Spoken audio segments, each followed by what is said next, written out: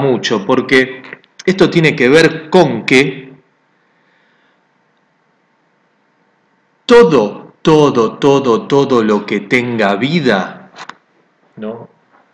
Todo, incluso hasta una piedra, pero todas las cosas, incluso una idea, una pareja, eh, una amistad, em, si lo dejas solo, expuesto al paso del tiempo, sin intervenir, sin hacer nada, el curso natural de las cosas es que se degrade, se corrompa, se deteriore, empeore, ¿no? que, que vaya para peor.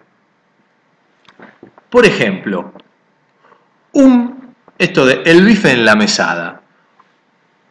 Un bife, carne de vaca, arriba de una mesada, perdón los veganos, pero también puede ser un tomate, pero tarda más en pudrirse, no sé. Eh, lo dejas ahí en la mesada y si no haces nada, a los dos días, tres está podrido o se va descomponiendo, ¿no?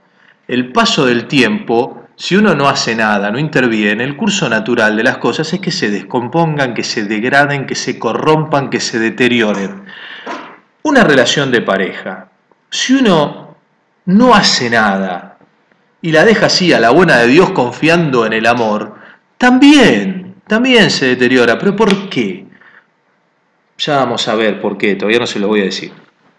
Entonces, volvamos al cacho de carne.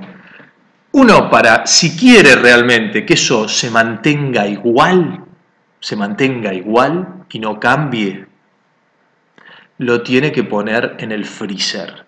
Antes se salaba la carne, se la ponía abajo de la tierra, se hacían un montón de barbaridades que funcionaban. Ahora se la pone en el freezer. El freezer, primero, para construirlo, para producirlo, requiere un montón de recursos, un montón de laburo y cuando uno mete la carne en el freezer, el freezer hay que enchufarlo, va a estar mucha electricidad, eh, requiere un montón de trabajo, de energía, de recursos puestos todo el tiempo para que ese pedazo de carne quede igual expuesto al paso del tiempo. Pasa el tiempo y quede igual. No se descomponga, no se deteriore, no se corrompa, no se degrade ese pedazo de carne.